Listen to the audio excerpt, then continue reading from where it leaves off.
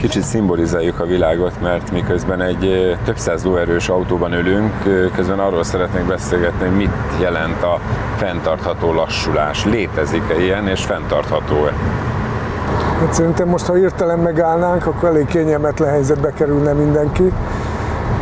Mindig az a jó lassulás, amikor szép lassan beméred a célokat, és valahogy úgy szépen közelítesz hozzá. Na, de hát a világ az ez. A világ az gyorsul, gyorsulni akar, minden erről szól.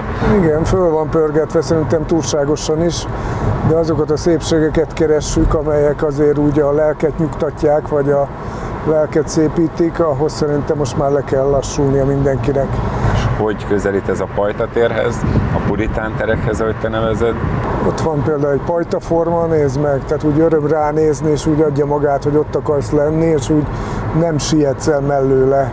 Akkor a fenntartható lassulásunk első állomása Visszák.